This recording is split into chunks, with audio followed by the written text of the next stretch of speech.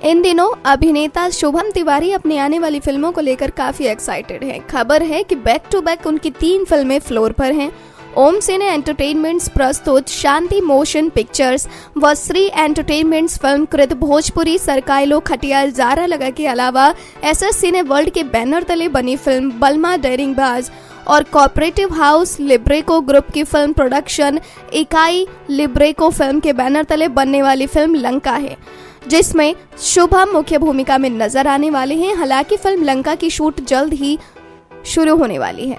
शुभम अपने आने वाली फ़िल्मों के बारे में कहते हैं कि सभी फ़िल्में एक दूसरे से काफ़ी अलग हैं।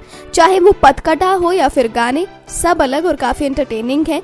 अगर बात निर्देशक पराग पाटिल की फ़िल्म सरकायलो खटिया जाड़ा लगे की करें तो एक बेहद ही खूबसूरत और कॉमेडी वाली फ़िल्म है। इसमें काम करने में बहुत मज़ा आया और उम्मीद है कि दर्शकों को भी ये फ़िल्म बहुत पसंद आएगी।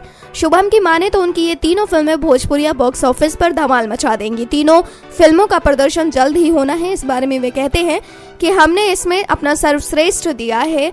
अभी फ़िल्मों को अंतिम रूप दिया जा रहा है, यानी कि पोस्ट प्रोडक्शन का काम अंतिम फ़ेज़ में है। हमें उम्मीद है कि दर्शकों को तीनों ही फ़िल्में खूब इंटरटेन करेंगी, साथ ही उनकी उम्मीद पर खरी उतरेंगी या नहीं, इसका फैसला तो अब दर्शकों के हाथ में ही है।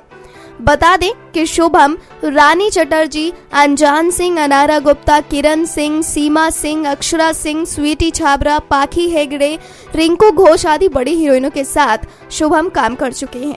नेक्स्ट नाइन न्यूज़ रूम की रिपोर्ट।